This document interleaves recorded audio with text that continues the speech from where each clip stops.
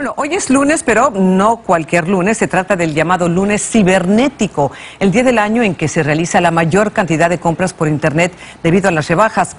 Desde Nueva York, Blanca Rosa Vilches nos dice por qué este año aumentaron las compras por Internet y qué cuidados debemos tener al hacerlas. No hay que esperar a que sea lunes para que se inicie el conocido lunes cibernético. Más de 103 millones de personas han estado comprando a través de la Internet en este fin de semana largo de Acción de Gracias. Y otros 121 millones de clientes solo hoy seguirán usando la computadora o sus teléfonos para seguir comprando. Compañías grandes como Walmart dicen registrar un número sin precedentes en el volumen de compras a través de Internet este año.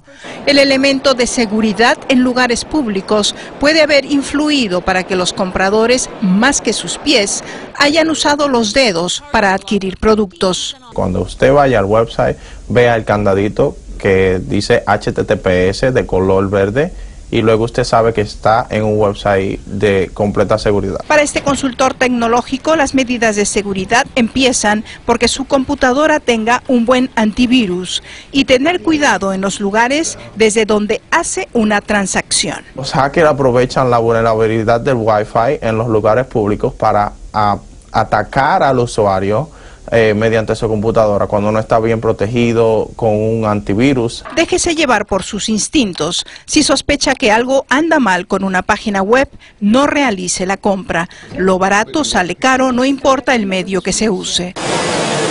El uso de los drones en el futuro le da una nueva dimensión de lo que será el lunes cibernético con entrega a domicilio en 30 minutos o menos.